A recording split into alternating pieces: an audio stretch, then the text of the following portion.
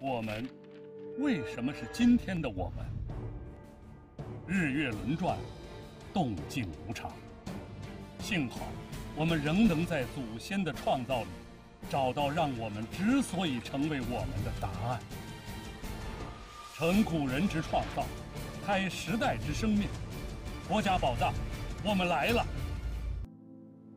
古之王者，则天下之中立国，则国之中立功。故宫在近六百年的时间里，承载着国家记忆，延续着中华文脉，撑起了一城一国的魂与魄。我是故宫博物院的看门人单霁翔。当人们走进故宫，这一刻，每个人都成为了时间与空间的连接点。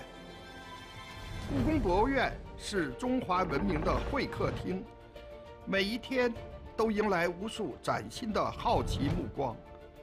一百零六万平方米的空间，红墙悠悠，宫阙重重。每年有一千六百万观众行走在这座活着的文物之城，见证它的浩荡威仪，它的蓬勃生机。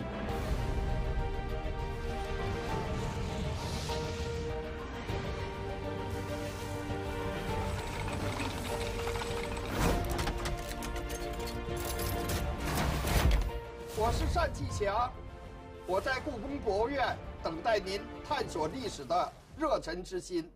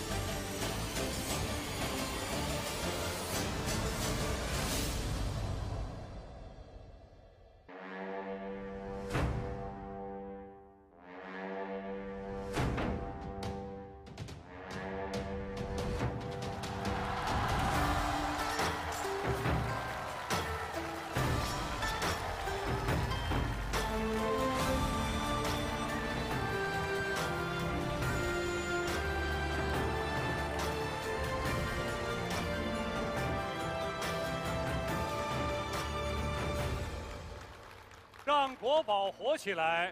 国家宝藏由蓝色经典梦之蓝独家呈现。等了一年了，就想问问大家：我们究竟有多年轻？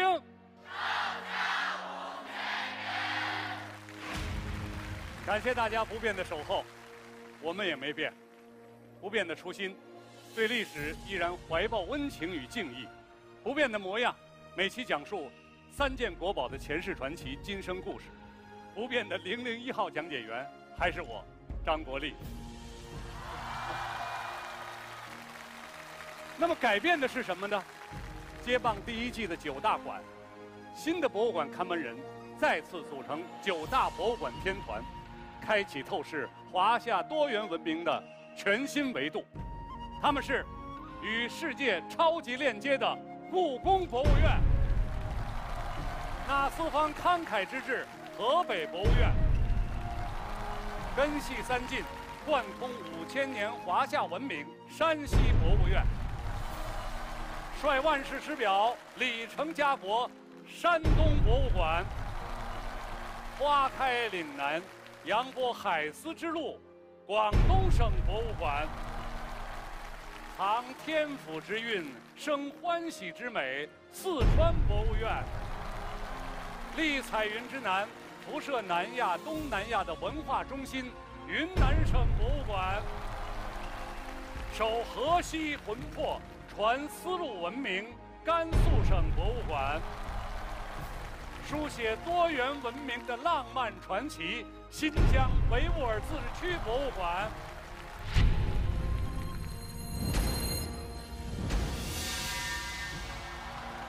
每一座博物馆守护一方文化宝藏，聚集而成便是中华文明多元格局的版图。但每个博物馆只有一件国宝可以进入2019年特展。接下来，单霁翔院长推选的第一件国宝是什么？它的守护人又是谁？我们一起来揭晓。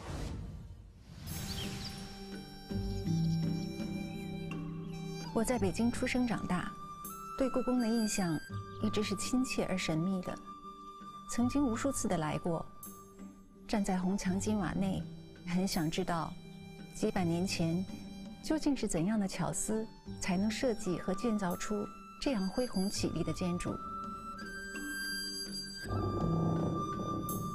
我终于有机会一探其中的究竟了。王菲您好，你好，这件呢就是您要守护的国宝。就是这些建筑模型吗？是的，我们管这些建筑模型呢叫做样式雷汤样，是古代的这个设计师在施工之前啊做出来的模型，供给皇帝承揽。这个样式雷家族呢，在清代这个两百多年当中，设计了很多皇家建筑。没想到，就是我们耳熟能详的这些建筑，都出自同一个家族之手。那下面我们看看其他的汤样。这具汤样呢是东陵普陀玉汤样，它是慈禧太后的地宫，就是一层一层打开，然后每一个细部都很清楚。当时在紫禁城里边做出来的这些烫样，一般只是皇帝一个人可以看。那我今天真的是太荣幸了。这件烫样是颐和园戏楼的一具烫样，它一共有三层。这个戏楼我们以前去颐和园的时候，应该是。经常能看到的天地家春这句烫样呢，它其实也是圆明园当中的一件，所以我们今天能通过烫样看到原来圆明园一些建筑的样子。民以居为安，世界再大，修身齐家是一个民族永远不变的起点。故宫、颐和园、北海、圆明园，这些耳熟能详的名字。都深深地存在于每个北京人的记忆里。有些建筑早已不复存在，没想到时隔几百年，我们还能通过这些烫样窥得些许他们当年的风采。我是国宝样式雷建筑烫样的守护人王菲，国家宝藏，我来了。有请国宝守护人王菲。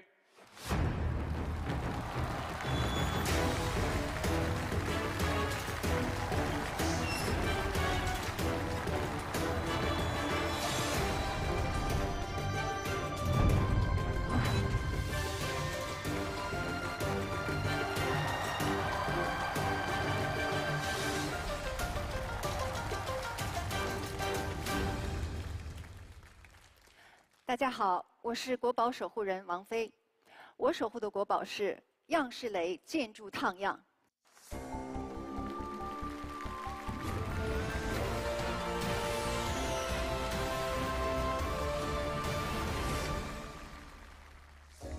在清代康熙到宣统的二百多年时间里，有一个雷姓家族，延续八代。主持或参与设计了几乎所有清代皇家建筑，其中包括圆明园、颐和园、天坛、中南海、北海、承德避暑山庄、清东西陵等等。他们制作的建筑烫样得到了历代皇帝的青睐，而样式雷的名号更是响彻整个京城。目前，中国六分之一的世界文化遗产。均打上了样式雷的烙印。我是王菲，我将带您走进样式雷建筑烫样的前世传奇。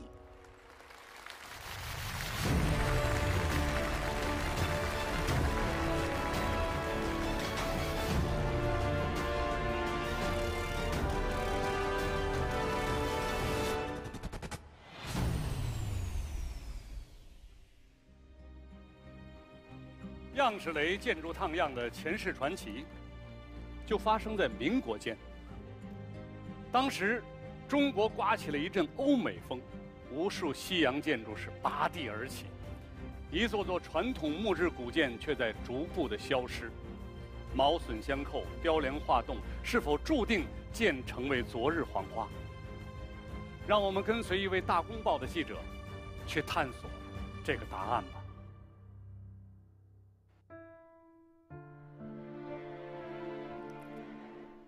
今天是一九三一年三月十五日，紫禁城自皇家宫殿变身为博物馆，向民众打开大门已有六年。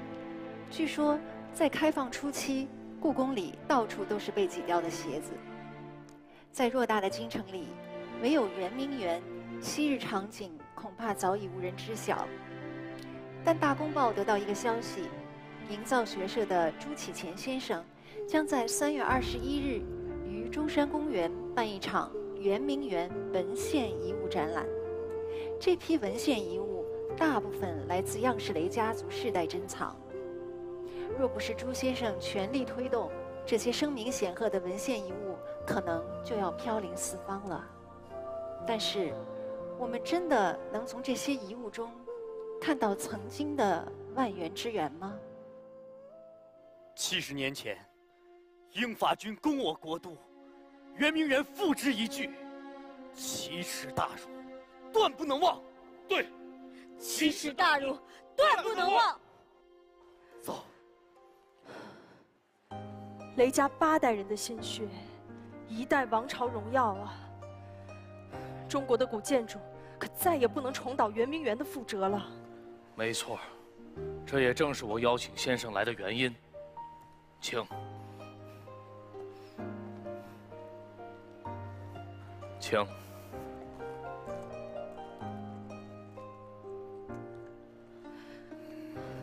这是天地一家春，实体真的是这样的吗？当然，雷家工匠先做烫样，预览亲准后才绘制施工图。我们这里还有大量的图档。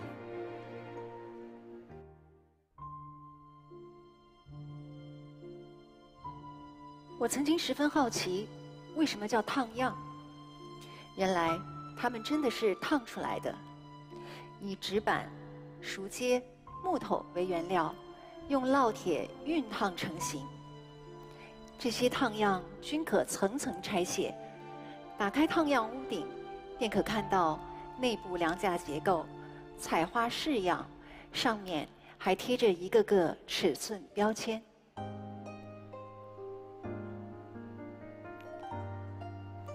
用灰打格，见方五丈，暗格超平。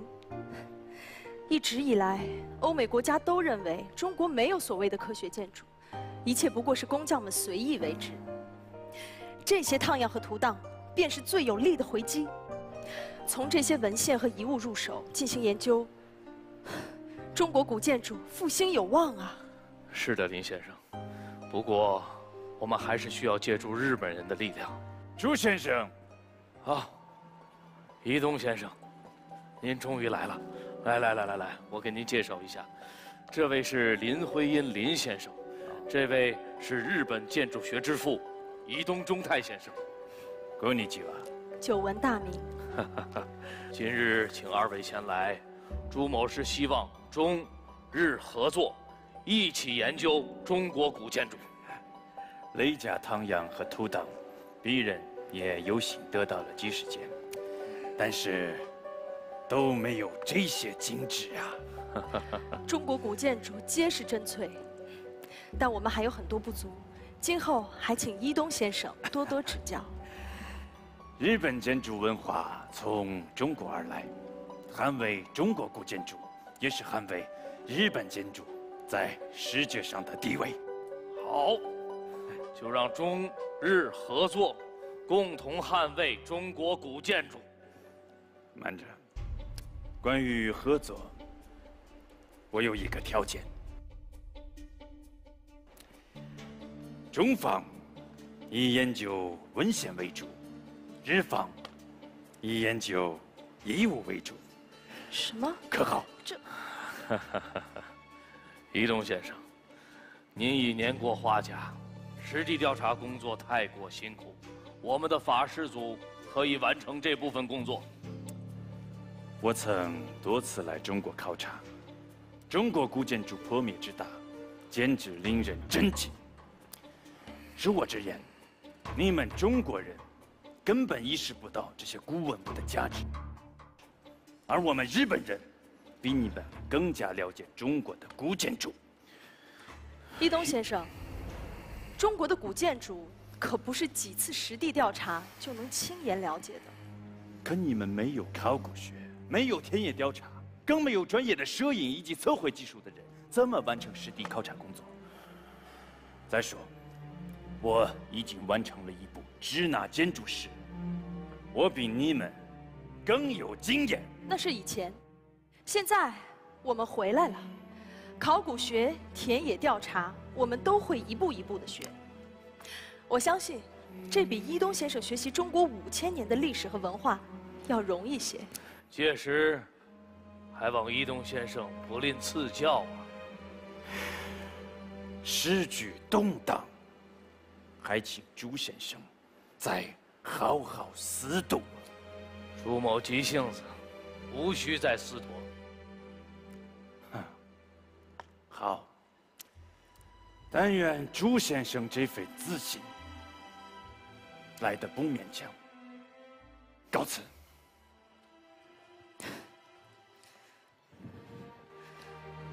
我们受制于人太久了，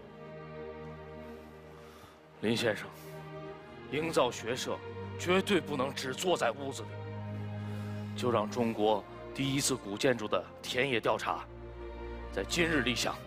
好，思成即将回京，我们就当仁不让的做个开路先锋。那就让我们用东方固有之文明，一起拯救世界吧。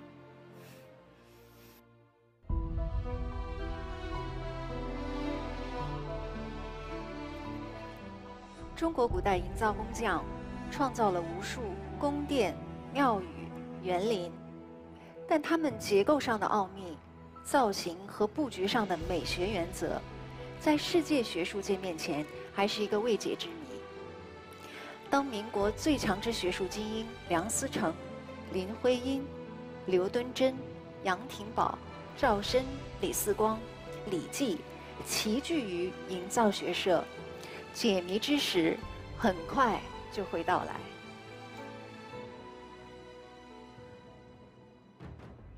一九三一年三月二十二日，《大公报》天津版对此次展览进行了重点报道，引发社会的关注。一年后，中国营造学社走遍中国二十二个省，对两千余个古代建筑进行科学调研，实现了由中国人自己写中国建筑学的夙愿。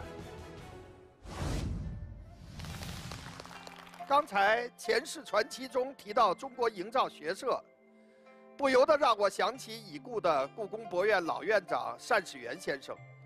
他曾经就是中国营造学社的一员，将自己的一生全部献给了故宫古建筑保护事业。一九三一年，抗日战争爆发后的五年中，中国营造学社对当时中国大地上的古代建筑。进行了大量的调查和研究，其中很多数据至今仍然有着极高的学术价值。他们的研究为中国建筑史研究树立了典范。样式雷家族呢和意大利的桑加洛家族、日本的中井家并列为世界三大建筑世家。意大利的桑加洛家族称冠文艺复兴时期，日本的中井家传承有十代之多，样式雷家族共传八代。横跨两百三十年的时间，主持设计了大量的建筑，均属于当时的杰作。据统计，故宫博物院保存有样式雷建筑烫样八十一件，内容涉及紫禁城、圆明园、颐和园、西园、清东陵等皇家建筑。这些宝贵的历史遗存，对于研究中国古代建筑的设计理念，具有重要的意义。欢迎王菲，欢迎来到国家宝藏。嗯，第一次见到国宝样式雷建筑烫样的时候，是一个什么感觉？其实之前一直有一个疑问，就是故宫博物院在国家宝藏里只推选了三件宝物来展现，没有选玉器啊、宝石啊、瓷器等皇家器物，而是选择了用纸壳子做成的建筑烫样。这是为什么呢？但是当我了解完样式雷建筑烫样背后所见证的中华文明，我才发现推选他们，应当说是当之无愧。嗯，样式雷建筑烫样的今生故事，又该如何继续呢？那我要请上一位嘉宾为大家解读。他研究了样式雷近四十年，助力了样式雷建筑图档入选联合国教科文组织世界记忆遗产名录。那让我们一起来认识他。我们中国人的设计自己都没挖出来，到今天为止，你们读的中国建筑史的教科书仍然没有设计，造成了在世界建筑史当中，中国建筑设计隐含的设计理念、方法、价值观完全是空白，就是自毁家门、胡闹。我们现在在颐和园介绍的时候，这个这个谁设计的不知道，故宫太和殿谁设计的不知道，这个我是咽不下这口气。所以我得把它挖出来。我是鉴定的、排序的，变成可读的，一万多件。样式雷绝大部分图我亲手整理，我出门就被汽车撞死，我不后悔。这个图可以解读了。东临西雷，自己去测绘，扛着一个经纬仪，经常是干半个月，一天一顿饭，就两个饼，放到暖气片上热。我的钱就够一顿饭。我们测绘图，颐和园就四千多件，关外的永陵、昭陵、福陵、北京故宫，然后北海、太庙、天坛、设计坛，那你就可以知道规模。这个功夫不是文字档案能够告诉你，而就是测绘才能告诉你。这是引导学社发现。没有，哦，那有，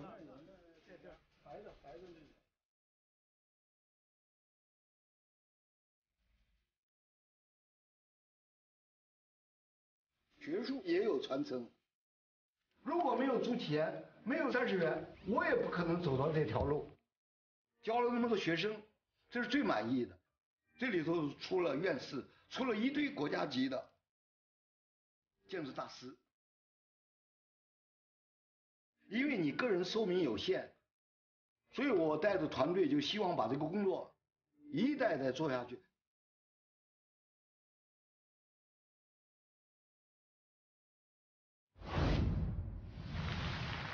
有请王其亨教授带领的天津大学样式雷研究团队。有请。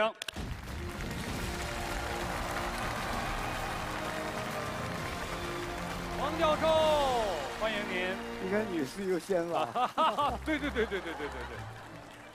王老师，隔着这个大屏幕，我就能看到，哎呀，您这急迫的心情啊！你怎么会这么激动呢？我们中国古代嗯建筑有过设计没有？怎么设计的？在我们系统研究之前，基本上是空白。我们现在的建筑教育当中，基本上没有中国古代建筑的设计理念和方法。哦，我接触了样式雷以后，发现这个是一个巨大的误区，和西方建筑史比，那基本上就是属于失语症。呃，失语症是什么意思？就是我们没话可说，没有话语权。哦，一八九六年，影响世界的一个权威著作。叫比较建筑史，它里面画了一张图，叫建筑之树。简单讲啊，就是人类的建筑文明怎么长起来的啊。这个图曾经让我们中国人的建筑界的前辈忍无可忍的，主干是希腊罗马，一直延续到当代。中国离根很近，但是是旁枝。这个树边上还有印度的，他们多少也比中国还往上窜了窜。换句话讲，中国建筑尽管发展很早，但是后来停滞了，而且根本对世界建筑没有什么影响。哎呀，看着这张图是有点憋气，是吧？所以这张图是也是促进我的前辈，包括我们那个团队，希望把这个失语症矫正过来。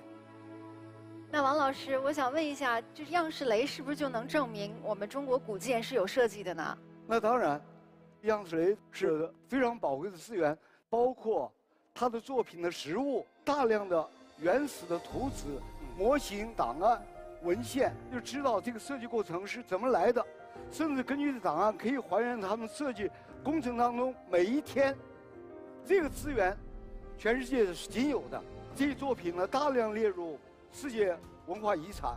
看看后边这个表。太了不起了！圆明园呢，高陵啊，十三陵、避暑山庄、颐和园、天坛、摄政王府、太庙，原来我们真不知道这么多的建筑都是雷家主持设计的呀？主要是他们作为负责人，下边还有团队，他总理叫长案。长案。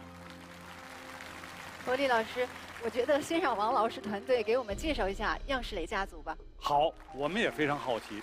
今天呢，我们也给大家带来了雷家几代人的这个画像，大家请看。哇！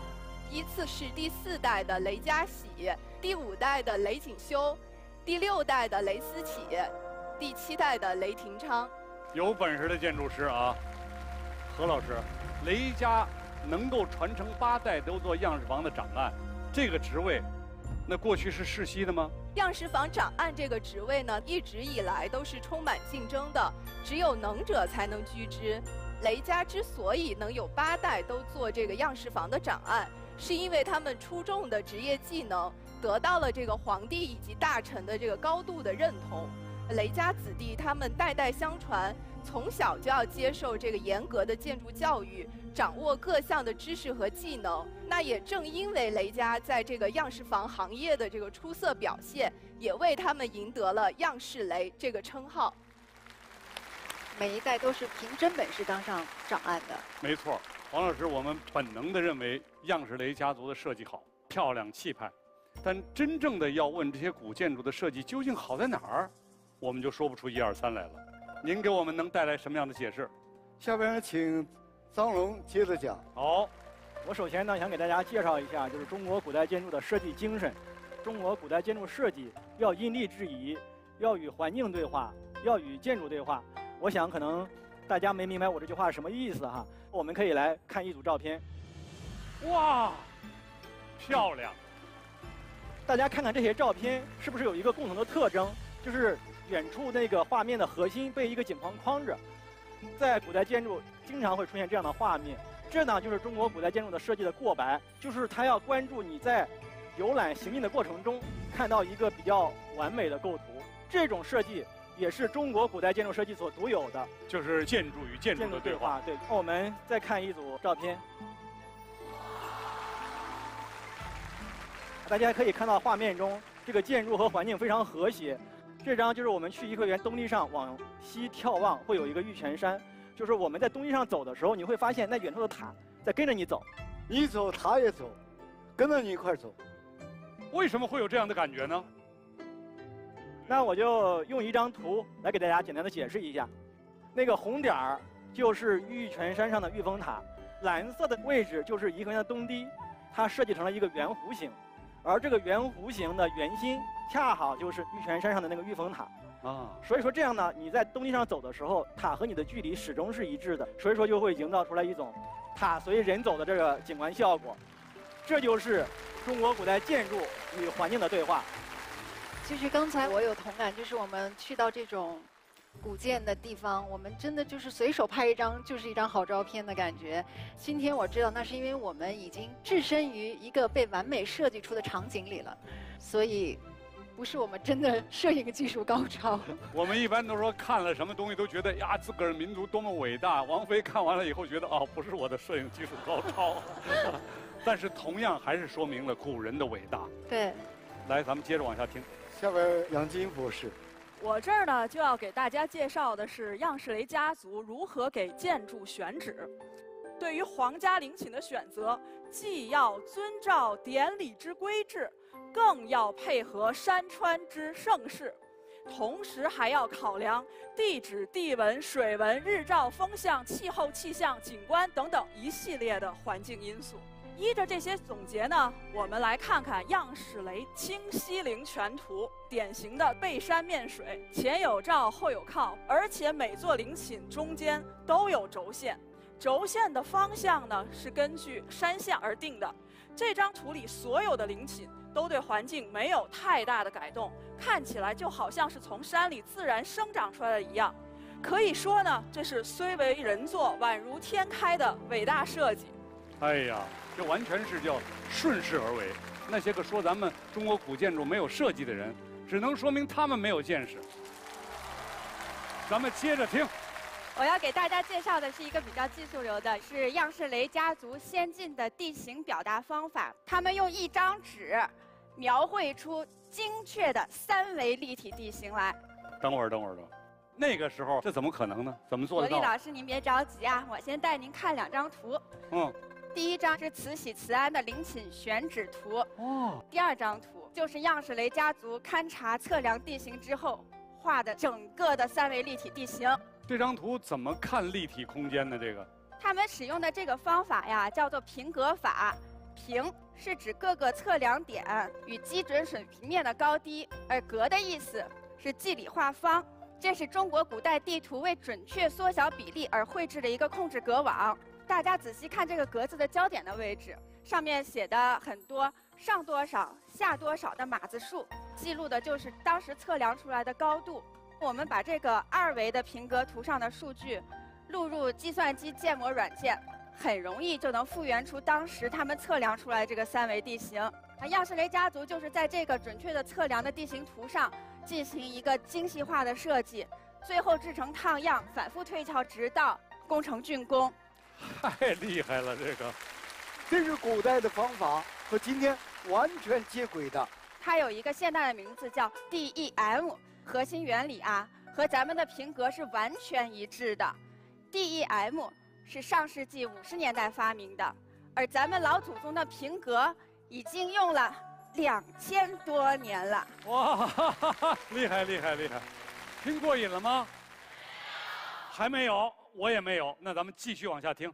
接下来，我们带大家看几张样式雷的设计手稿，分别是圆明园的九州青雁的立样图，万寿寺行宫的画样。我们留心注意一下看，它不仅表达了建筑的平面。而且把立面绘制出来，它们是三维的，是可以量取的，简直是看着就像是绘画作品一样，是吧？接下来我们把视点聚焦放到建筑上，大家请看。哇，这些立样啊，分别是正阳门的箭楼、颐和园的致敬阁、颐和园万寿山上的昙花阁和福音轩。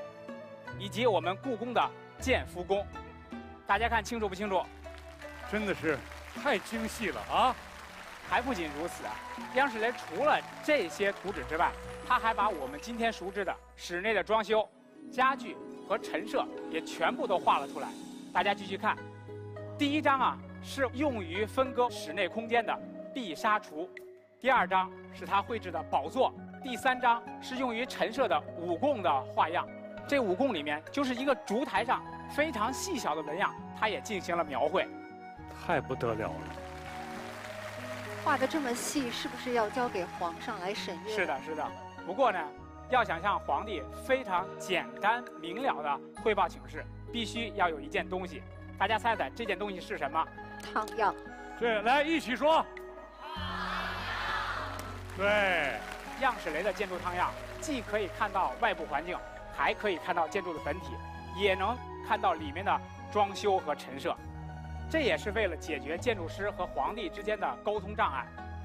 不仅如此啊，这些烫样甚至会摆到工地上，让参与工程的官员啊和工匠非常直接的看清将来建造的对象。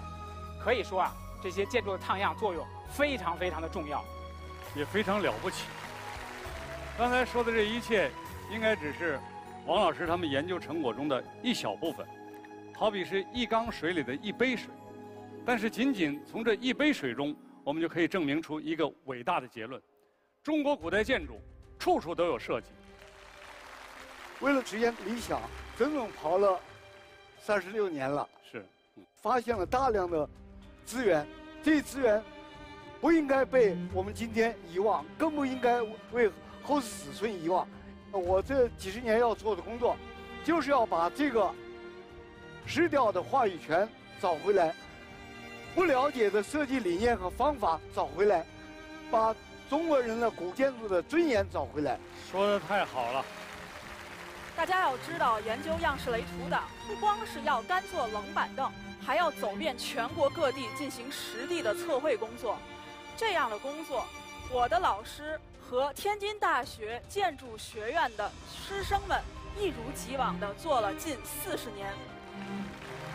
到今天为止，总共解决了一万三千件有生之年我也做不完，所以我从一开始，按照营造学生的传统，拼了全身心的力量，培养我们这个团队的接班人。现在我们中国大学的建筑教育体系都是在西方话语权的背景下建立的，我们是需要去还原中国传统建筑设计的真实地位，培养新时代我们的大国工匠。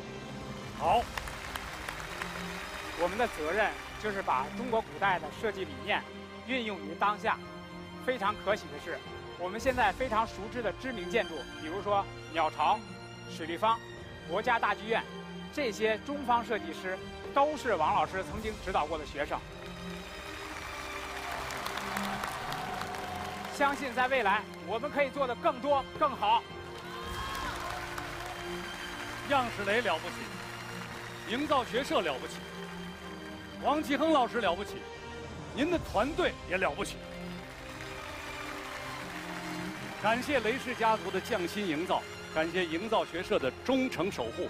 更要感谢王其亨老师的团队，以学术为天下公器，让中国古建焕发新的生机与活力。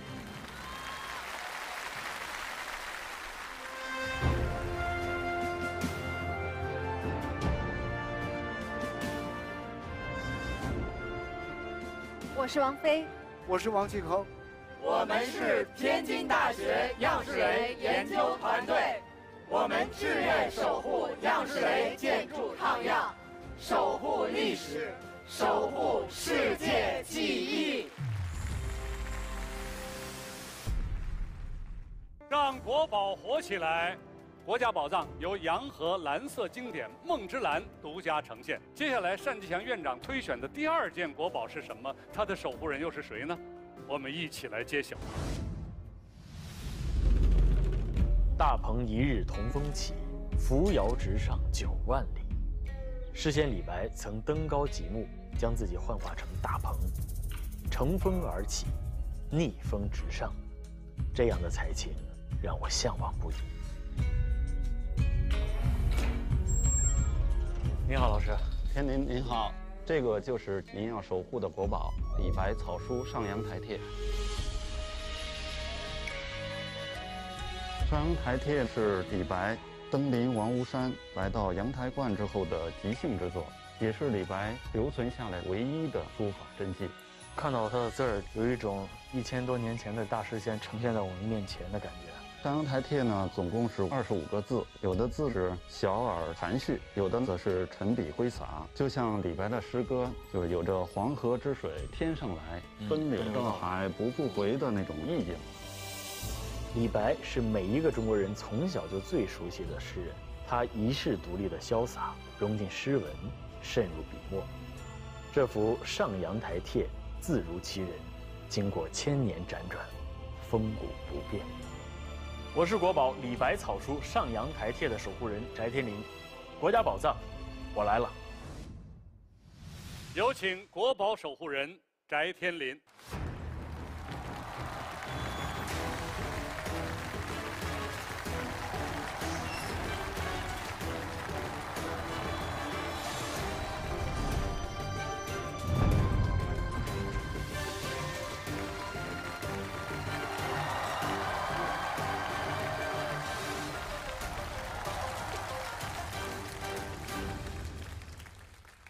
大家好，我是国宝守护人翟天临，我守护的国宝是李白草书《上阳台帖》。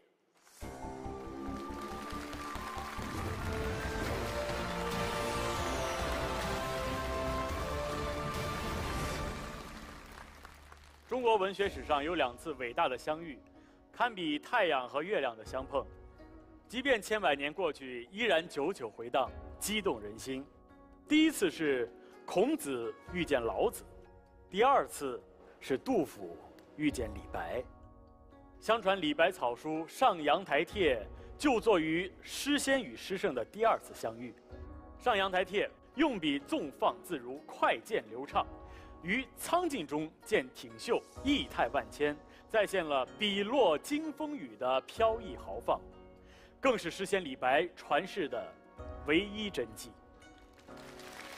我是翟天临，我将带您走进李白草书《上阳台帖》的前世传奇。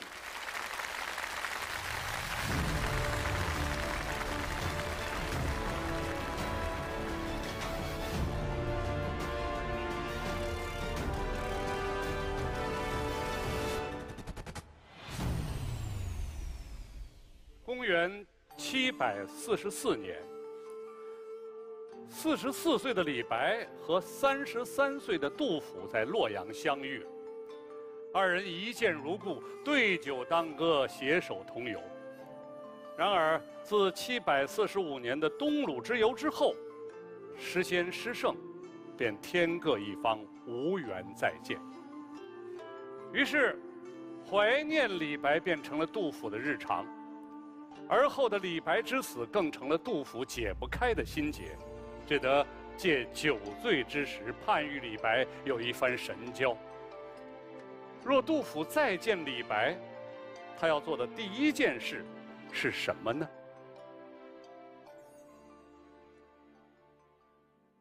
唉，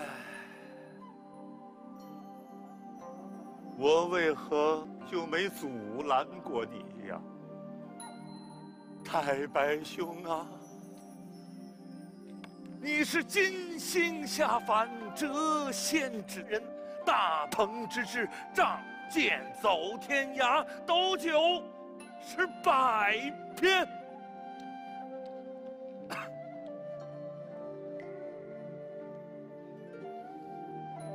我若早知你的结局，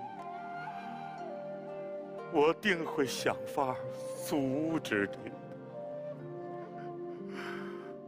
我就该阻止你才是啊！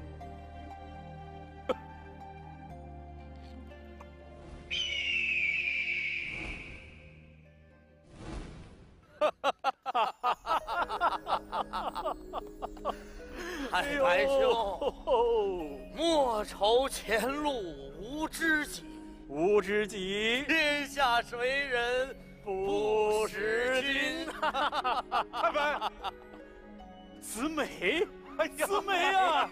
你可把我想死了！哦，对对对啊，我有要事要告知。讲，何人在门前喧闹？这可是司马承祯所作。你以为呢？哦哦哦！烦请仙童通报，李白、高适、杜甫三人拜见先生啊！新来的，师傅早在九年前羽化仙去。仙去？白云先生竟然仙去？早已仙去啊！不。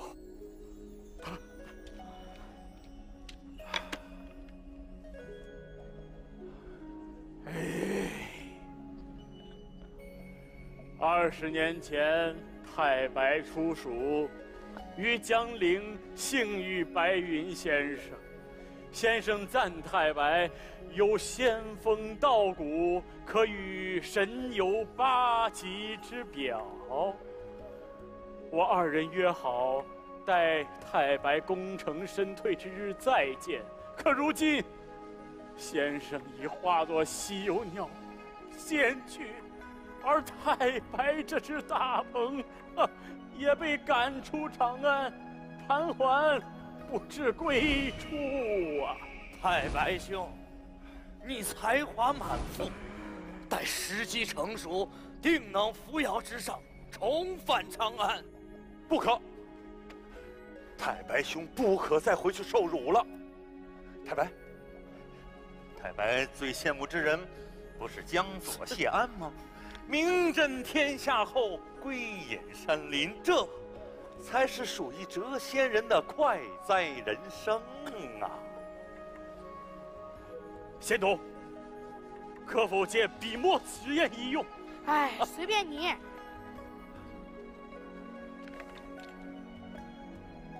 山高。水长，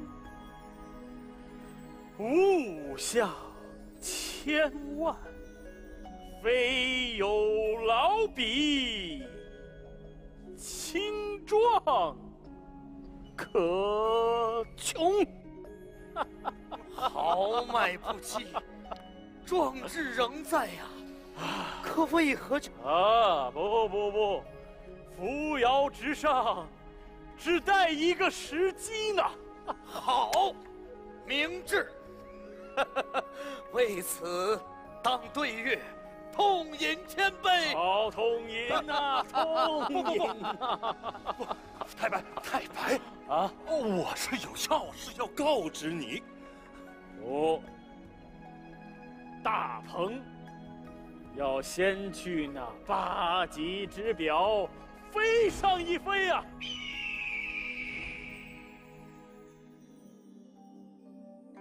哎呀，不行啊！我这个时候，阻拦有什么用呢？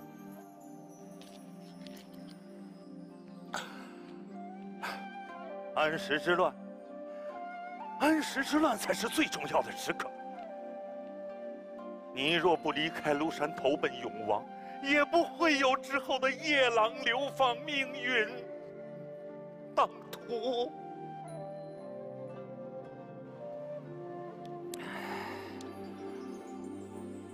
子美兄，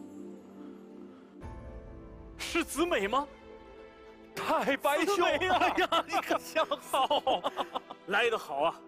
我正要去投奔永王，走之前，陪我不醉不归。哎呀，你千万不可出庐山呐！啊，我跟你说，永王不过陛下和太子的一颗棋子，你投奔他，定会卷入乱局，这是大劫，万万不可去。不。安史叛乱，大唐不复盛世，太白热血男儿，自当一扫胡虏，平天下。这上阵的人千千万，不差你个李太白，你你不能去。哎呦，姊妹兄怎么变得如此粘人喽？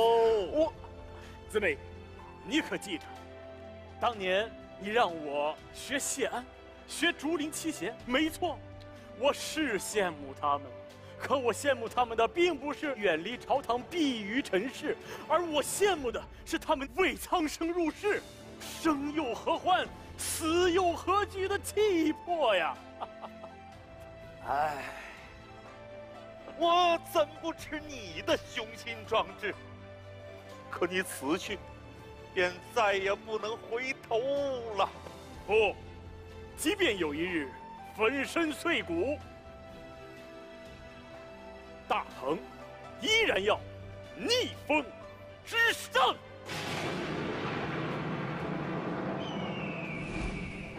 太白，太白呀！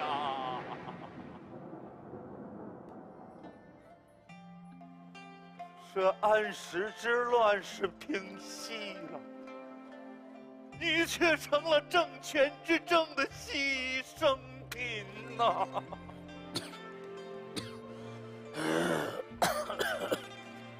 子美，太白，子美啊，太白，太白，是你吗？太白，太白，子美，太白。又让天下人失望。唉，我心知我阻止不了你，我就是在你身边，也阻止不了。子梅，太白要去，那是谁也拦不住的。嗯。唉。可几千年才能有的一个李太白呀，竟要如此凄惨的死去吗？我不后悔。世人言，太白因盛唐而生，既是如此。太白不该只染盛唐之光修身，而不为盛唐平天下。若只是唯唯诺诺不出，便配不上这盛唐赋予的名声哦。你永远是盛唐那轮可望而不可及的明月。鹏飞兮，振八翼；中天摧兮，力不济呀！我一生出世不可得，千百年后还会有人记得这壮志难酬的李太白吗？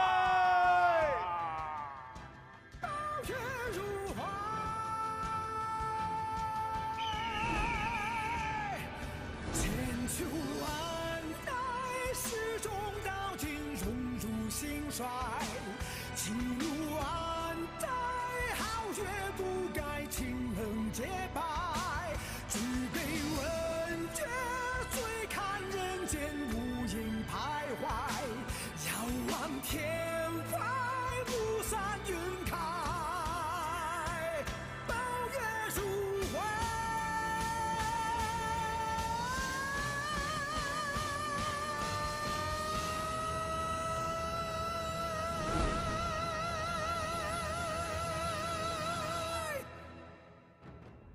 清风肺腑明月魂，扶摇直上大鹏志。仗剑天涯惊风雨，酒尽诗成泣鬼神。公元七百六十二年十一月，六十二岁的李白魂归明月，千年轮转，独留一幅《上阳台帖》。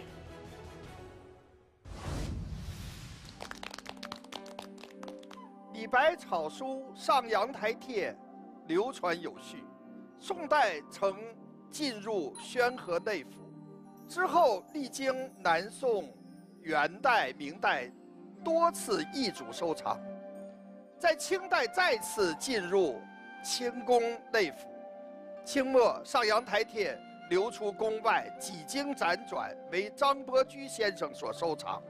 新中国成立后，张伯驹先生将《上阳台帖》捐献给了国家，并于1958年转交故宫博物院收藏，所以大家才有机会在一千多年后的今天，可以一览诗仙李白的书法风采。在帖上，我们能够看到宋徽宗用宋金漆书写的“唐李太白上阳台”的题签，在帖的后面，宋徽宗还写了一段长跋，称赞李白的书法和他的诗一样出名。当代著名学者、书法家、鉴定家启功先生认为，此帖有李白名款，有宋徽宗亲体签和跋，用笔不行常规，吻合于李白诗风豪迈不羁，应为太白真迹。其实李白一直将大鹏当作自己精神的化身，而明月则是李白的精神寄托。前书传奇用一种戏剧的浪漫的手法，将两种意象结合起来，再现了这样一个一峰之上的诗仙李白。来，让我们欢迎翟天临。翟天临是博士毕业，学表演的学成博士，既有颜值，又有演技。刚才你为大家表演了李白这个片段啊，你觉得杜甫和李白是一种什么关系？哦，国立老师，我觉得他们俩的关系应该是仰慕与赞赏的关系。嗯，杜甫仰慕李白，而李白赞赏杜甫。杜甫仰慕李白，这个我相信。你比如说，杜甫写李白是“天子呼来不上朝，自称臣是酒中仙”，是吧？还有这个“笔落惊风雨，诗成泣鬼神”，都是说李白的。对的，还不止呢。呃，杜甫还写了“春日忆李白，冬日有怀李白，哇，天末怀李白，梦李白二首”。两个人一生当中一共见了有三次。第三次见面的时候，杜甫写。醉眠秋共被，携手日同行。意思就是说，白天两个人手拉着手，晚上呢，呃，一起盖一床被子啊，来形容两个人的关系极为亲密。你让我脑洞大开，他们俩到底是一种什么关系啊？这是这 啊，好朋友在一起，常常常常也会这样。那可能只有一张床，两个人凑合凑合，天儿又冷，哦，对，那不能把一个人踢床底下去，是吧？是是是，还是说这两个人感情真是太深太好了。对，杜甫崇拜李白，嗯，我们都感受到了。但是李白对杜甫，你说是赞赏，我可不觉得，因为杜甫给李白写了十五首诗，李白一共给杜甫写了多少诗呢？四首，哦，对不对？呃，这事儿不能这么说。李杜初见时，李白四十四岁，对对吧？早已经名扬天下了，而杜甫才三十三岁，刚刚在这个洛阳啊崭露头角。嗯，那你想，一个名扬天下，一个初出茅庐，李白看待杜甫，我觉得应该是，嗯，这是一个不错的后生。这样，哇，就有点像我现在看你一样。哎呦啊，这是一个很不错的后生啊，初出茅庐。名扬天下了。我们发现博士就是不一样，做了很多功课的，是不是？谢谢国立老师。其实啊，呃，我做完这些功课，啊，看到这幅字的时候，我有一个感触。说什么感触？幸运。你想啊，书圣王羲之，他的字没有一幅留下来；诗人屈原，他的字没有一幅留下来。历朝历代那些中国文学史上的大文豪，很多很多都没有一个字留下来。可是李白，中国最伟大的诗人，他的字留下来一幅，而且还如此的完整，我觉得简直是幸运的不敢置信。我们真的是要感谢历史的造化。那接下来你这个今生故事如何继续？今生故事讲述嘉宾啊，我觉得可以算是品读。李白他的心境，嗯，是最深刻的一个人哦。而且我曾经在大学的时候啊，呃，当时身上没有多少钱啊，我就买的学生票几十块，在二层远远的看着他塑造李白。哦，今天有幸能够把他请到现场来，我觉得非常的荣幸。我仿佛想到了他是谁。哎，来，让我们一起来认识他。每个中国人的心中。都有一个李白。我有幸从年轻的时候在话剧中扮演了李白，演到现在快三十年了。是天庭的灯，是瑶台的镜，是游行的诗意，是无无声的歌音。开始是我努力用功的在塑造李白，渐渐的。我好像感到，是他在塑造我。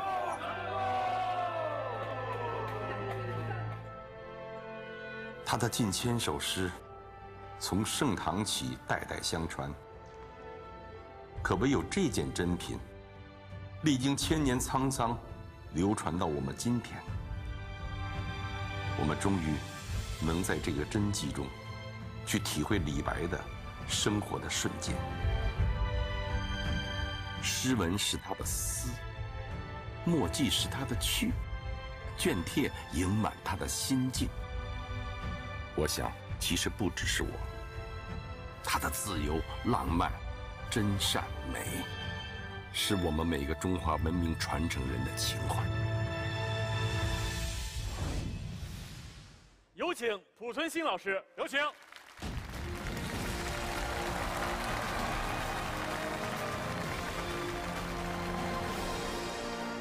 好，天林好。刚才天林说说品读李白心境最深刻的人，我一下就想到是你，兄弟不敢，真的是想到了你。你说这个李白，你演了快三十年了，自个儿都快变成李白了吧？啊，李白的事儿，你问问蒲老师，门儿清。我替大伙儿问啊，你第一次见到这个上阳台帖的时候是什么感受？我没有去故宫看。在报端上看到之后，真的是，真的是，真的是棒棒极了，棒极了的。我面对真迹的时候，看到他的字，这个书法写到了画的境界，我们都觉得他是有他的心境，呃流露。他这个帖好像李白是这么去看，我们也这么看，折射过来去印证我们和李白之间的是不是有相似的心境。最重要的一天，我们哎，我们在座的是不是都会背上一两首李白的诗词吧？床前明月光，来。疑是地上霜，举头望明月，低头思故乡。好，用什么样的字写的呢？他写出来的这几个字是什么样呢？请看上阳台帖，就是这样的字迹。这个字你就能想象这个人当时那种状态是个什么心境。床前明月光，嗯，李白一定写过。对，《将进酒》一定一定写写过，嗯《蜀道难》一定写过，但是我们仅仅看到了这一幅，大家伙儿以前不大熟悉的，所以我觉得我们仿佛更接近李白了。是的，但是让我觉得更加神奇的是，人世间居然只留下诗仙唯一一幅真迹。如果多留几幅多好。所以说人李白诗仙高啊，人家诗可以留下来，人家真迹就留这一幅，多一幅都不给你。所以就这一幅还给我们留下了一些念想，一些很多的想象的空间。我觉得是的，我刚才听你讲这个时候，我想你在舞台上演出，你知道吗？我看过你在舞台上朗诵诗的那个状态，完全像那个也喝了酒那种感觉。对，啊，打开了那种哈，这这那种那种劲儿。哎呦，我觉得，要是今天你来一段怎么样啊？不敢，不敢，不敢，不敢。来一段吧。这样吧，咱们让天林先来，小辈儿嘛，是吧？年轻有为呃，你比我年长一岁，是吧？我二，你攒底，咱们三个，是吧？有酒有剑，拿着来来几句，怎么样？好，我选择这把剑吧，好不好？可以啊，来。十步杀一人，千里不留行。事了拂衣去，深藏身与名。真好，嗯。该我了是吧？咱俩干杯，咱俩干杯。来，好，共饮，共饮。我来一段，会的跟着我一起念啊。郎骑竹马来，绕床弄青梅。同居长干里，两小无嫌猜。胡老师，该您了。我来为大家吟唱，嗯，《朝辞白帝》。老人儿在吟唱的时候，把它交给我父亲，我父亲交给我。嗯嗯嗯。朝辞白帝彩云间，嗯，千里江陵一日还，两岸猿声啼不住。轻舟已过万重山哦。来着了吧？胡老师，演了快三十年李白了，那你自己现在还在演？你现在在演和你第一次演，自己的感受有什么不同呢？呃，年轻的时候吧，我们因为才疏学浅，空间只是字面嘛，演的时候会着劲一些，生涩一些，会努一把力。今天我在演，可能更多的是生命的延长、修养的增加，然后设身处地的把自己摆进去。李白似乎在塑造我，塑造什么呢？其实就是那点独立品格、自由精神。从唐代，唯他一人有长短句，宋词才有啊，《将进酒》《蜀道难》，还有《梦游天姥吟留别》。我觉得李白他也是在挣脱束缚，挣脱语言束缚。嗯，我们今天把他的文学留下来了，我们继续传承，让我们的孩子、孙子在十年、五十年、一百年、上千年以后，我们仍旧认李白做自己的先祖，不只是我，其实李白也在塑造所有的人。是的。那我们两个私交还是比较好，但我从来没有像今天这样近的看着他在谈这一番话。我和你们的也是一样，我听进去了。国立老师，我跟涂老师，我们都一起有幸演绎了李白，然后我也想在这里，我们用一首诗致敬李白。哇，那太好了！再次掌声。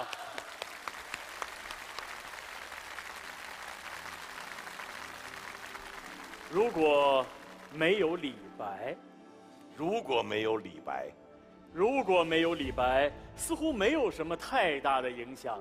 不过千年前少了一个文学家。全唐诗会变薄一点点，但程度相当有限。如果没有李白，几乎所有唐代大诗人的地位都会提升一档。李商隐不用再叫小李，王昌龄会是唐代绝句首席，杜甫会成为最伟大的诗人，没有之一。如果没有李白。我们应该会少背很多唐诗，少用很多成语，说童年没有青梅竹马，说爱情没有刻骨铭心，说享受没有天伦之乐，说豪气没有一掷千金。浮生若梦，扬眉吐气，仙风道骨这些词都不存在，批符汉树。妙笔生花，惊天动地，也都不见了踪迹。如果没有李白，我们的生活应该会失去不少鼓励。犯了难，说不了“长风破浪会有时”；想辞职，说不了“我辈岂是蓬蒿人”；处逆境，说不了“天生我材必有用”；赔了钱，说不了“千金散尽还复来”。更不要说“大鹏一日同风起，扶摇直上九万里”，安能摧眉折腰事权贵，使我不得开心颜？如果没有李白，我们熟知的神州大地也会模糊起来。我们不再知道黄河之水哪里来，庐山瀑布有多高，燕山雪花有多大，桃花潭水有多深。蜀道究竟有多难？白帝城、黄鹤楼、洞庭湖的名气都要略降一格，黄山、天台山、峨眉山的风景也会失色几许。如果没有李白，历朝历代的文豪词帝也会少了很多名句。没有举杯邀明月，苏东坡未必会有把酒问青天。没有。请君试问东流水，李后主不会让一江春水向东流。没有事了拂衣去，深藏身与名。金庸的武侠江湖将会天缺一角，侠客行。千百年来，蜀人以李白为蜀产，陇西人以为陇西产，山东人以为山东产。一个李白生时无所融入，死后千百年慕而争者无数。是故，无处不是其生之地，无时不是其生之年。他是天上星，亦是地上鹰；亦是巴西人，亦是陇西人，亦是山东人，亦是会稽人。亦是浔阳人，亦是夜郎人。死之处亦荣，生之处亦荣，留之处亦荣，求之处亦荣。不由不求不留不到之处，读其书见其人，亦荣亦荣。幸甚至哉！我们的历史有一个李白。幸甚至哉！我们的心中。有一个李白，你是谪仙人，你是明月魂。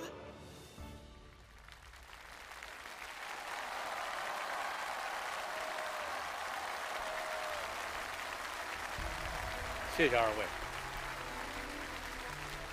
感谢我们的历史里有一个李白，我们的心中有一个李白。对于所有的中国人而言，哪怕他不了解古典文学，哪怕他半点都不喜欢诗歌，他也会开口遇到李白，落笔碰到李白，童年邂逅李白。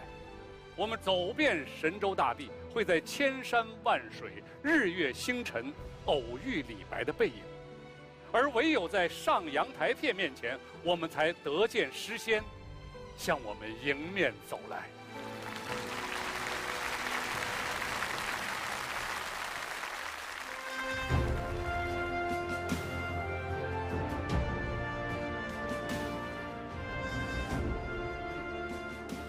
我是翟天临，我是蒲存昕，我们志愿守护李白草书《上阳台帖》，守护历史，守护义汉长风。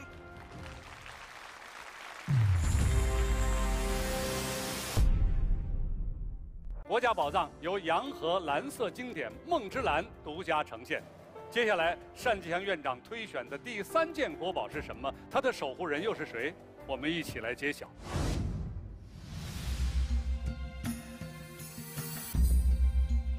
画角声中旧岁除，新年喜气满屠苏。洋河湖转冰霜后，元气更如天地初。春节对于每一个中国人来说，就是家。这偌大的紫禁城，皇帝这一天也是和老百姓一样，想念着家。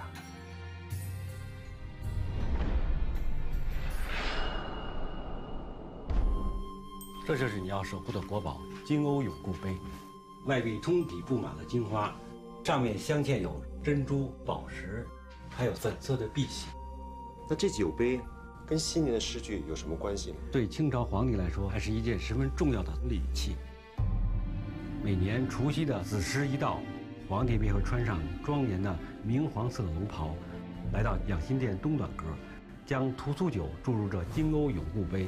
沉于紫檀长衣之上，在指尖上写下“风调雨顺，永享太平”类似的吉祥话，标志着新的一年已经来临。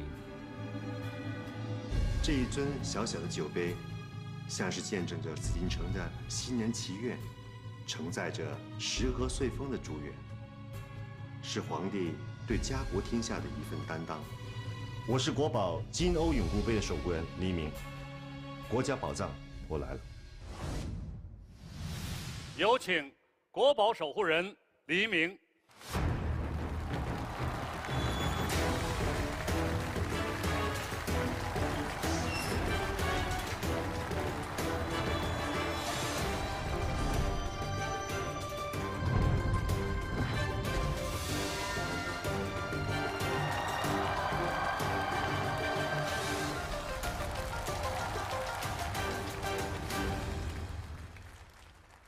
大家好，我是国宝守护人李明，我守护的国宝是金瓯永固杯。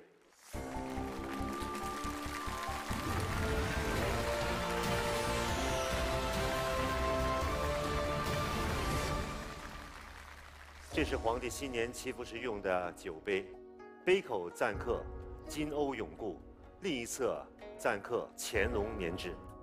没错，它的设计师就是乾隆。杯口有夔龙双耳守护，杯底是象鼻三足鼎立。金杯通体錾刻的是缠枝宝相花纹，花纹间充盈着皇家点翠工艺，虽已斑驳，但光华仍在。我是黎明，我将带大家一起走进金瓯永固杯的前世传奇。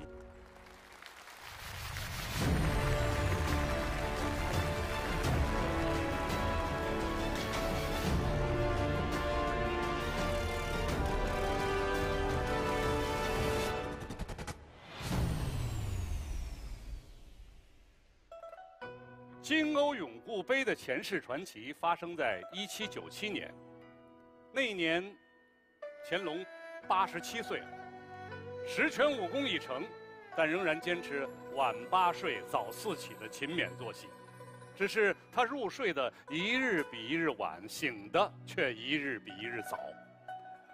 万籁俱寂之时，究竟是什么困扰着这位政治强人呢？我们的故事就从乾隆帝的一个失眠之夜开始讲起。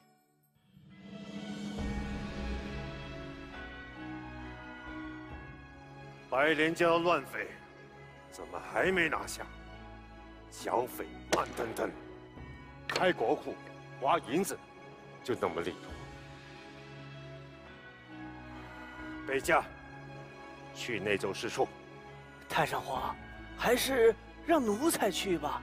是好是坏，朕都要第一个知晓。这。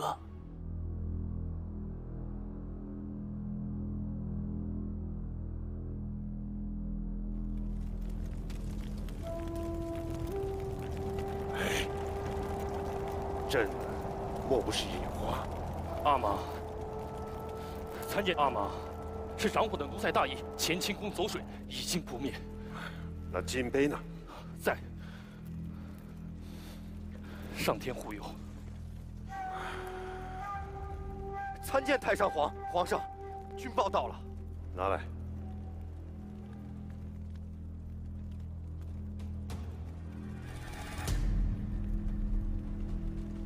好你个和珅！说什么坚壁清野，百万军费打了水漂。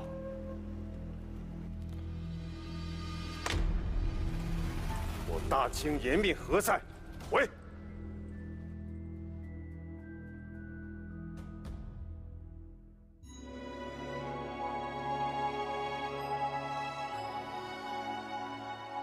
太上皇。您该歇歇了。朕二十五岁继位，没一天敢懈怠。征准格尔，好过尔喀，定金川，敬台湾。唉，可如今，朕有何脸面加码？见皇爷爷。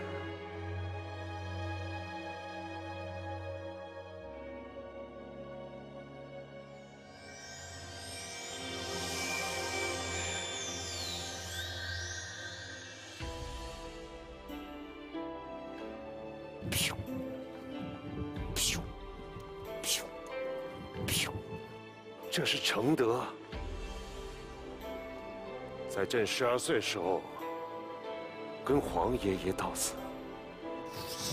弘历，你慢着点儿，小心别摔着。你，你慢点跑。弘历，哎，你跑哪儿去了？皇爷爷，弘历在这儿啊。哎呀，我的孙儿啊，你也老了。对呀，我八十有七，康健如常。还是你的福手高。对了，咱大清现在有多少人丁了？有三万万呢。三万万了。哎呦，那就是三万万张嘴要吃饱饭。要能哼出顺心的曲儿来，弘历，了不起！皇爷爷没有看错你。阿玛，您就别再夸他了，他把这大清都搞成什么样了？阿玛，我说你怎么一上来就不和谐呀？咱们爷仨难得见面，有话好好说。哎呀，你自个儿说，我骂错了吗？儿臣惭愧，近日却有一股乱匪兴风作浪，但红利定会灭掉。哎呀，你就吹牛吧你！你给我闭嘴！咱红利治理下的大清疆域，非但没有丢掉毫厘，更是力扩千尺。阿玛，你看你都把他宠成什么样了？你能不能少说两句？我就说你这十全武功。啊！十场仗，士兵们拼命，百姓们吃苦，军官们却胡吃海塞，你为何不知？儿臣有必要重整吏治。哦，你现在想起来整顿吏治了？我设养廉银，避免官员们贪污。你呢？官员犯错，交点银子了事儿。啊，还有，军机处竟敢羁押军报，根本就没把你这个皇上放在眼里呀！你把我放在眼里了吗？我让你少说两句，你就是不听。啊妈，就算隔辈儿亲，你这这你该批评你还是得批评啊！你真把我当老糊涂了啊！江山永固，根系在民。你皇爷爷下江南访查民户时，才发现咱大清到底有多少人丁，我竟然不知。后来，盛世开始滋生人丁，清理税赋，当然，这也留下了隐患。多亏你阿玛呀，果断务实，推行摊丁入亩，为百姓减负。咱大清的盛世啊，是代代积累，绝非一人一日之功，断不可自尽功法。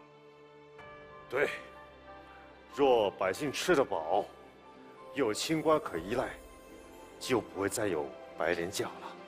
你总算明白了，政之所兴，在顺民心；政之所废，在逆民心呐、皇爷来呀！走吧，操了一辈子心，还嫌不够啊？阿玛，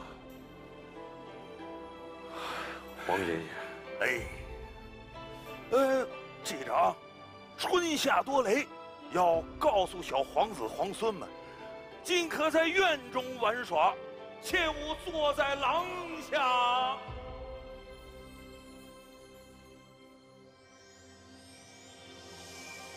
太上皇，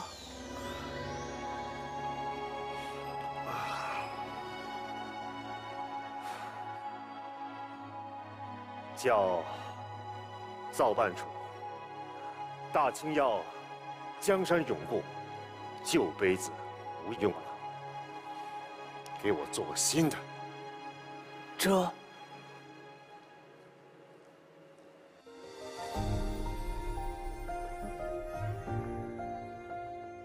太上皇，内务府按您御笔之图，这金瓯永固杯呈上。朕知道，这些年离百姓疾苦远了。旧金杯就留着警醒朕吧。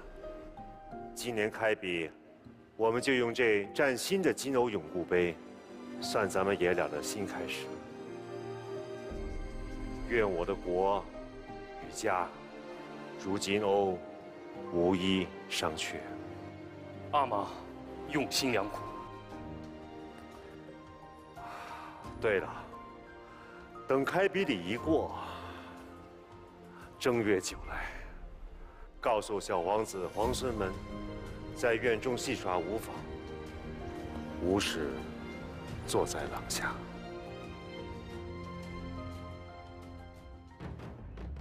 康熙、雍正、乾隆三代皇帝勤勉务实、披肝沥胆，共同缔结了康乾盛世。就在金瓯永固杯做成的第三年，乾隆驾崩，嘉庆亲政，手起刀落，赐死和珅，平定白莲教之乱，江山永固，任重而道远。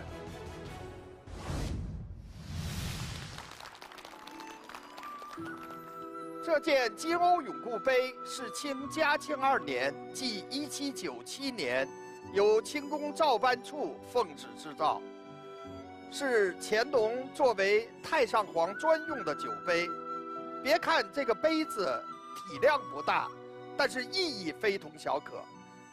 它是寓意着国土永保、江山万年的礼器。养心殿的开笔之典是由雍正皇帝开创，乾隆皇帝定制推行。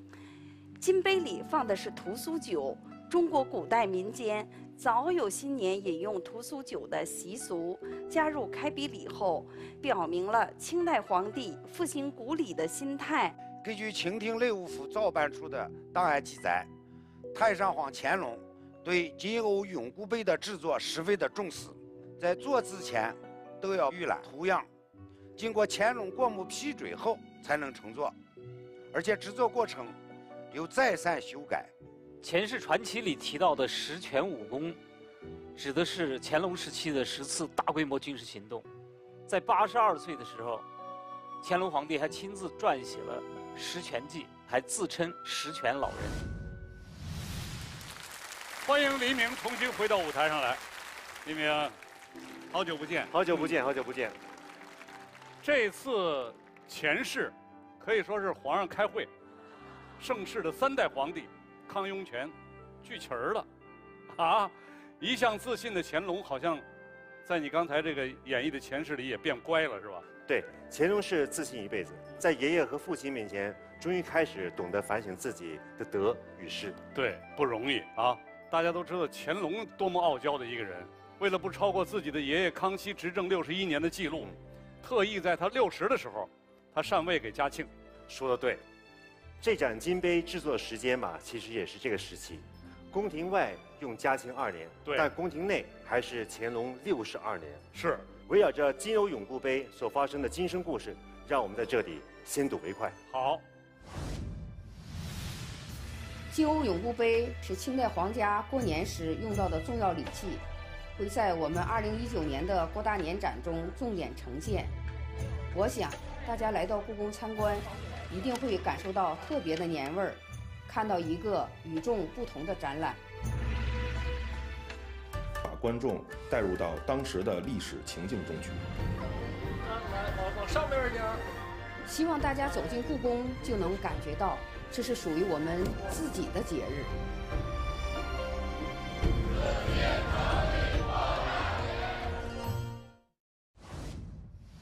有请紫禁城里郭大年的。策展团队，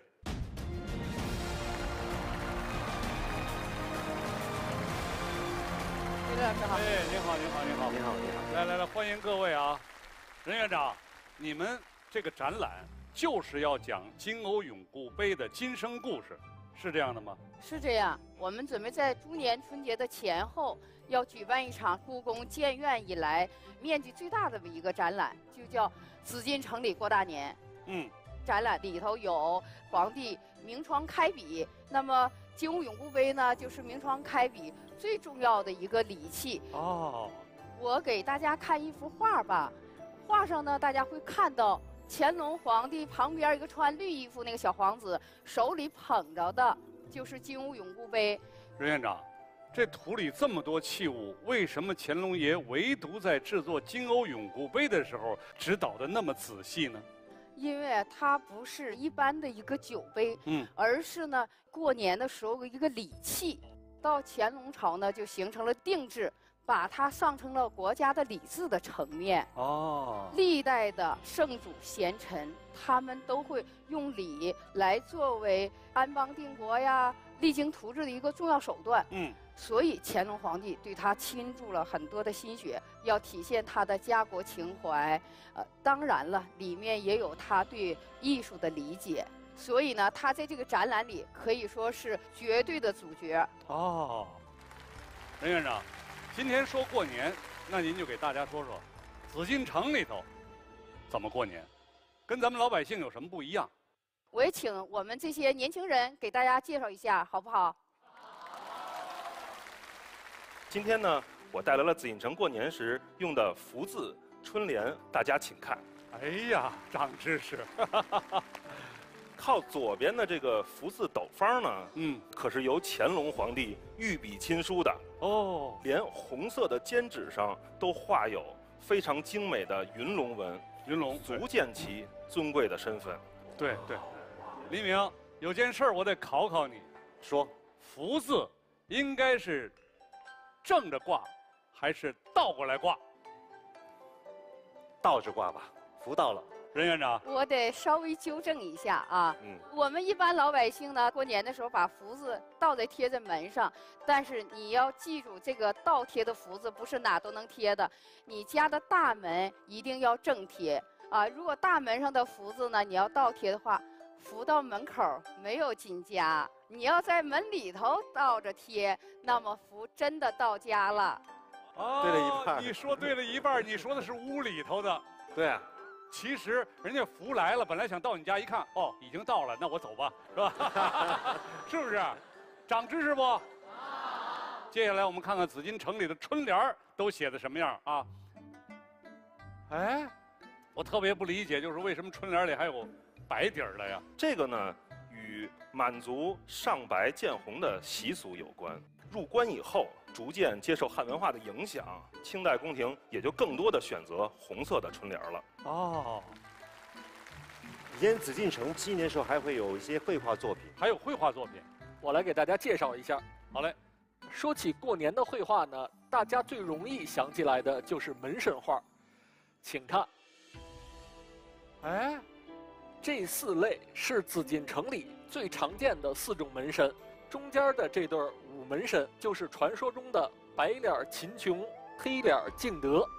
宫廷的如意馆的画匠呢，通常会运用立粉贴金的工序来描绘武门神的盔甲，这样他的盔甲呢就会显得炫彩夺目。对，第二类呢叫做文门神，它寓意啊是天官赐福。嗯嗯。最右边的叫仙姑门神，悬挂在皇宫内廷。童子门神呢是娃娃的形象，有祈求多子多福的含义。啊。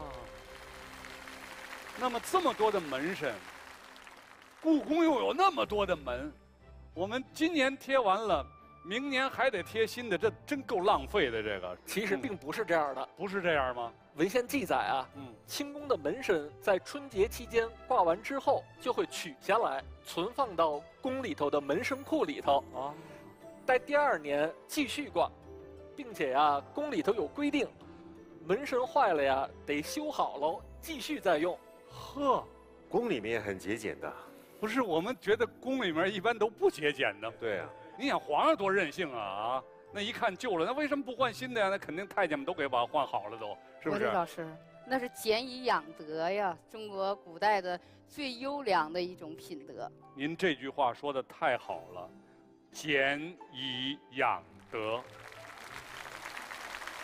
黎明，我们还有什么要介绍的？我觉得乾隆他一定会用很多时间跟君臣互动。您说的对，皇帝过年的时候是非常忙碌的，也因此呢留下了各式各样的文物。我们一起来看一下。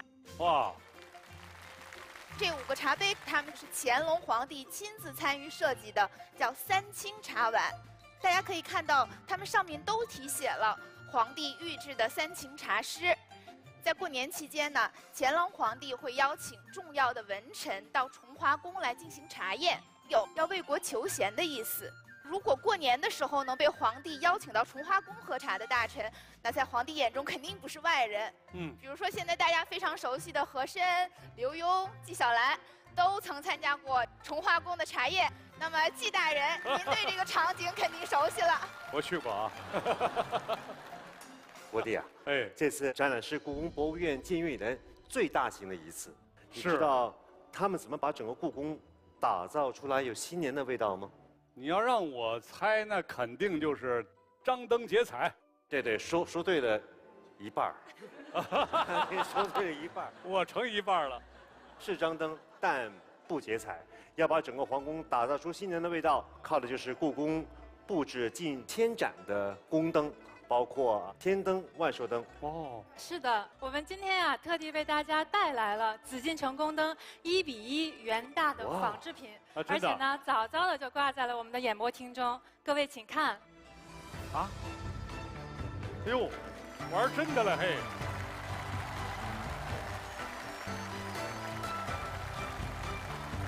真漂亮。这一种宫灯呢，叫做铜胎画珐琅葫芦式挂灯。葫芦谐音福禄，具有大吉福禄、福禄安康的寓意。太好看了。这呢，只是清宫过年使用宫灯之中的一种。根据清宫档案记载呀，自腊月二十四日起，在紫禁城、圆明园、畅春园等各个皇家宫苑中，就会挂起成百上千盏各式各样的宫灯。比如呢，有专门用于祭祖的庆成灯，用于宫廷礼仪的天灯和万寿灯等等等等。我觉得呢，我们每一个故宫人都像是一盏宫灯，为了照亮故宫六百年的壮美而贡献着自己的微弱光芒。说的真好，刚才你还说天灯和万寿灯，对吧？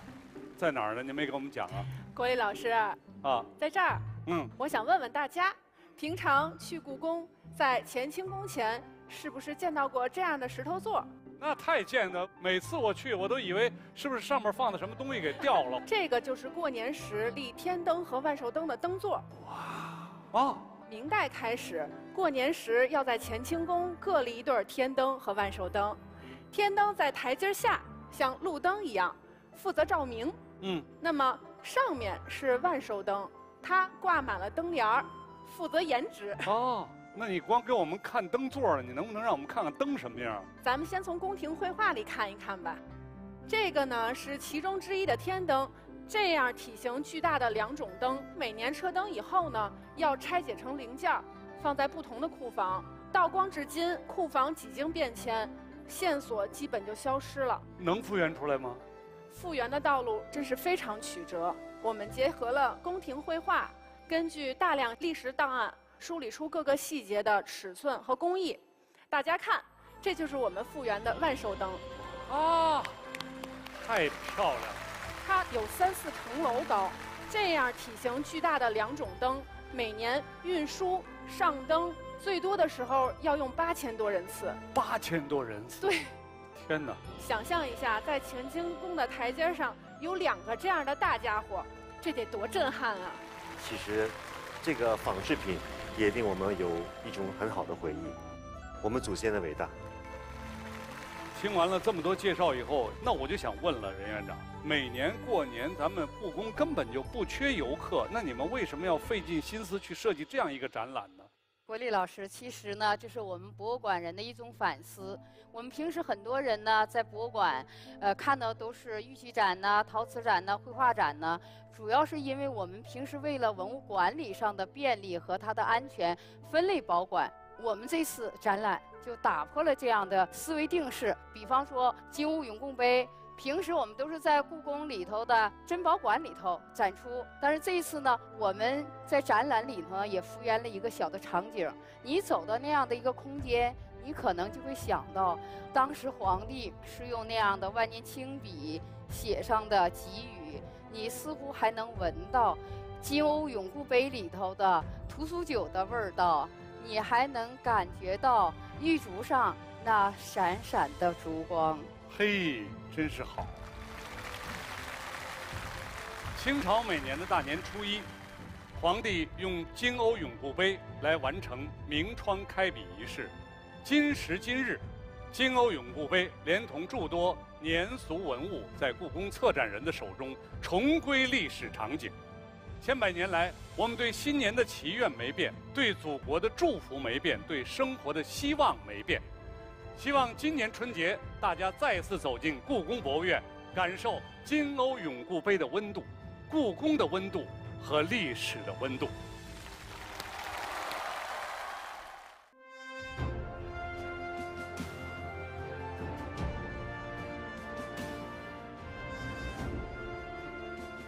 我是黎明。我是任万平，我们是故宫博物院年轻一代策展人，我们志愿守护金瓯永固杯，守护历史，守护国泰民安。